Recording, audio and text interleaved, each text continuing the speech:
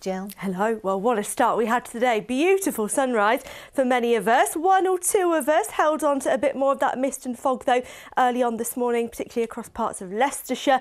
And then the sun really came out. Look at that lovely wintry blue skies. But things are changing. So as we head into tomorrow, we now have this yellow warning for rain issued by the Met Office. Kicks in at midday, lasts until 8 o'clock tomorrow. So there is a risk of flooding and some travel disruption. Now, let's just have a look at where that's coming from. So it's this area of low pressure. We're seeing these fronts being pushed in from the west. So later on tonight, we'll start to see some heavy pulses of rain and then continuing into today tomorrow. But for this afternoon, I mean, let's just try and enjoy the last of the sunshine that we do have. It's pretty chilly though, only around four degrees Celsius. The cloud then starts to build later this afternoon. Some of that rain starts to build, turns a bit showery, a bit lighter, but the winds start to pick up overnight and you'll notice that tomorrow it's going to be pretty blustery and pretty wet. There comes that band of rain a bit later into the afternoon.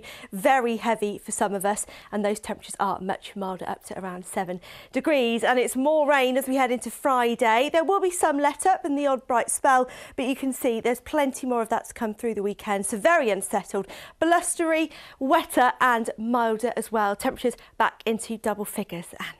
It's just one big yuck with that, isn't it?